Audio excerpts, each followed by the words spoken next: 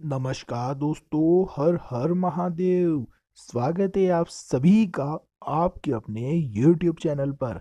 दोस्तों, आज इस वीडियो में हम बात करने वाले हैं महादेव शिव के एक ऐसे बड़े चमत्कार के बारे में, जिसे सुनकर दोस्तों आप सभी भी खुशी से झूम उठेंगे। जी हाँ दोस्तों, यह चमत्कारी घटना हमें हमारे इंस्टाग्राम अकाउंट पर लिख के भेजते हैं सुरेश जी पाटीदार। दोस्तों सुरेश जी हमें बताते हैं कि यह चमत्कारी घटना उनके साथ उस समय हुई थी जब वह अपने छोटे से गाँव में रहने गए थे। दोस्तों सुरेश जी का कहना है कि वह अभी अपने काम के सिलसिले में दिल्ली में निवास करते हैं। परंतु दोस्तों, जब कुछ समय पहले वह छुट्टियाँ मनाने अपने गाँव छत्तीसगढ़ गए थे तो दोस्तों, वहाँ पर उनके साथ हुई महादेव की चमत्कारी घटना।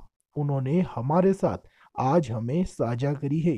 दोस्तों, उम्मीद करेंगे इस घटना को सुनने के बाद आपको क्या लगता है आपके मन की बातें, आप हमें नीचे कमेंट बॉक्स में ज़रूर बताइएगा। दोस्तों, चलिए अब इस वीडियो को शुरू करते हैं और आपको बताते हैं कि सुरेश जी के साथ वह ऐसी कौन सी चमत्कारी घटना हुई थी जिस घटना से सुरेश जी का महादेव शिव के प्रति भरोसा बहुत ज़्यादा बढ़ गया है। दोस्तों, सुरेश जी हमें भेजते हैं कि बात आज से पाँच से छः वर्ष पुरानी है। मैं छुट्टियाँ मनाने अपने गाँव गया था।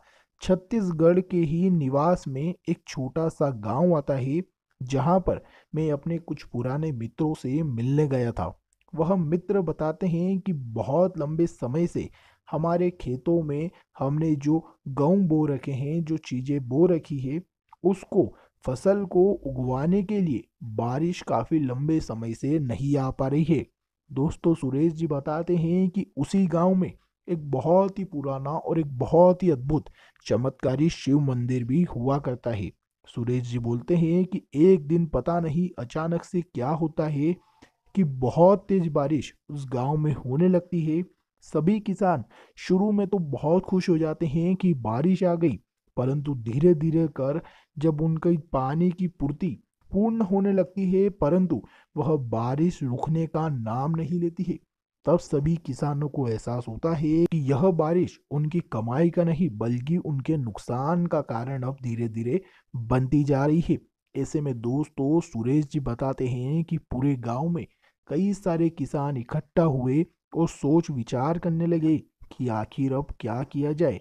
अगर ऐसा ही चलता रहा तो सभी फ़सल खराब हो जाएगी और उन्हें बहुत बड़ा नुकसान झेलना पड़ सकता है। दोस्तों, सुरेश जी बताते हैं, उस समय में वहीं खड़ा था। सभी किसानों की बहुत लंबी मीटिंग चल रही थी, परंतु कोई भी नतीजा निकल कर नहीं आ पा रहा था, क्योंकि किसी के पास इतनी ताकत नहीं थी कि वह इस भारी बारिश से अपने गाँव को, अपनी फ़सल को और अपने परिवार को बचा सके। देखते ही देखते दोस्तों धीरे धीरे पानी का बहाव इतना बढ़ने लगा और बारिश की गति इतनी बढ़ने लगी कि गाँव में बाढ़ सा माहौल बनने लगा।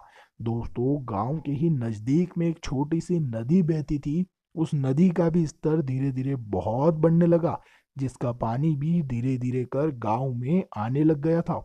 अब ऐसे में दोस्तों, गाँव के सभी बच्चे, सभी महिलाएँ और सभी किसान बहुत ज़्यादा घबरा जाते हैं और बहुत ज़्यादा चिंतित हो जाते हैं कि आखिर अब किया जाए तो क्या किया जाए। ऐसे में दोस्तों, उस समय वहाँ पर गाँव में रहने वाले एक बुज़ुर्ग अघोरी बाबा आते हैं और कहते हैं कि इस गाँव के रखवाले स्वयं शिव जी है। जी हाँ दोस्तों, जैसा कि हमने आपको वीडियो के शुरू में बताया था कि गाँव में एक चमत्कारी शिव मंदिर हुआ करता है।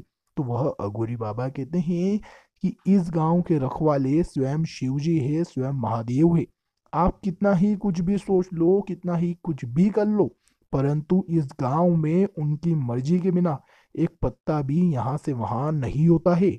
ऐसे में दोस्तों, वहाँ पर खड़े कुछ बहुत सारे भक्त ऐसे थे जो महादेव के बहुत बड़े भक्त भी थे और उस चमत्कारी मंदिर में आना जाना भी उनका लगा रहता था। तो उन लोगों को भी उन अगोरी बाबा की बातों पर भरोसा होने लगा कि हाँ यह बाबा सचमुच सच कह रहे हैं। यहाँ के रखवाले स्वयं महादेव हुए और अब हमें चिंता करने की कोई बात नहीं है। हम सभी मिलकर महादेव के मंदिर जाते हैं और महादेव से प्रार्थना करने लगते हैं। महादेव ही अब इस बारिश को रोक सकते हैं और हमें बचा सकते हैं। अब दोस्तों सभी लोगों की योजना बन जाती है और गाँव के सभी पुरुष वहाँ पर जाने की योजना बना लेते हैं। परंतु जैसे ही वह सभी घरों से निकलते हैं, बहुत ज़्यादा पानी का बहाव बढ़ने लगता है और धीरे धीरे कर बाढ़ की स्थिति आने लगती है। ऐसे में दोस्तों बहुत से लोग डर जाते हैं कि इस बाढ़ में तो अब हमारे घर, हम और हमारे खेतों की फ़सल सब कुछ बह जाएगी। ऐसे में कुछ लोग पहाड़ी की तरफ़ भगने लगते हैं, कुछ वापिस अपने परिवार वालों को लेने के लिए। अपनी झोपड़ियों में भगने लगते हैं। परंतु दोस्तों, कुछ महादेव के सच्चे भक्त ऐसे होते हैं, जो कहते हैं कि भले ही आज इस बाढ़ में हम बह जाएँ, परंतु महादेव के दर्शन करे बिना हम यहाँ से नहीं लेंगे और महादेव से प्रार्थना करे बिना हम यहाँ से लौट कर कहीं नहीं जाएँगे। और दोस्तों, ऐसे ही कुछ भक्त यह बात ठान लेते हैं और बड़ी बारिश में, पूरी बाढ़ की स्थिति में महादेव की शिवलिंग तक पहुँच जाते हैं। जहाँ पर वह चमत्कारी मंदिर हुआ करता है। और दोस्तों, इतने में ही पानी का बहाव बहुत ज़्यादा बढ़ जाता है। उनके पैरों से ऊपर ऊपर बहुत ज़्यादा पानी धीरे धीरे कर तेज गति से बढ़ने लगता है।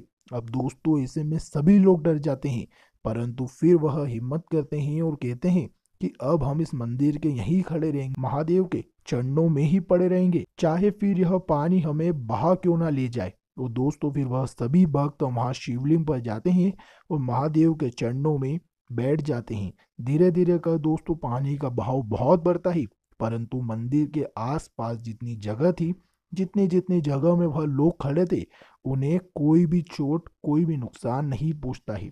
देखते ही देखते दोस्तों, सभी लोग महादेव से प्रार्थना करते हैं कि हमें, हमारे परिवार को, उसी के साथ हमारे खेतों को बचा लीजिए।